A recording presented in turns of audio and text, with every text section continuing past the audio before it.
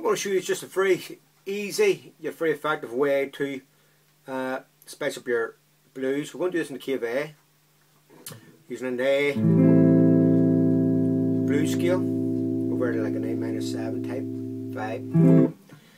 So first of all, probably the blues, blues scale key of A, it's going to start on the D string with this version anyway. D7 then uh, G5, 7, 8, B5, 8 to E5.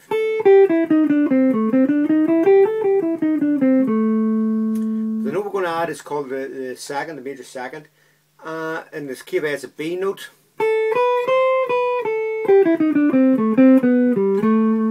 And just by adding that extra note, it just gives you so much more uh, options in terms of, uh, of harmony.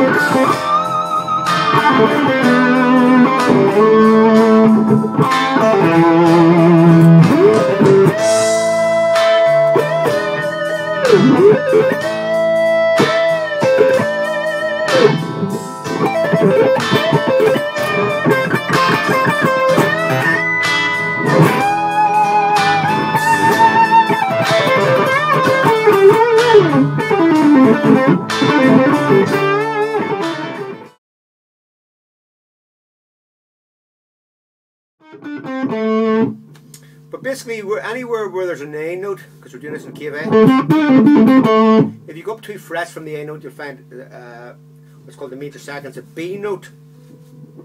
And if we add that to the scale,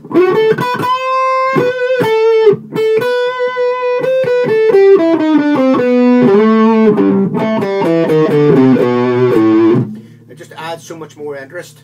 Uh, gives you a lot more options in church terms of playing melodies or whatever.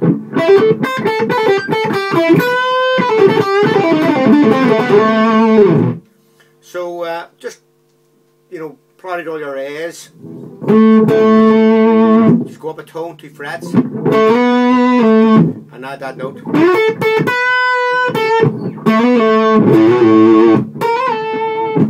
Just wherever there's an A note.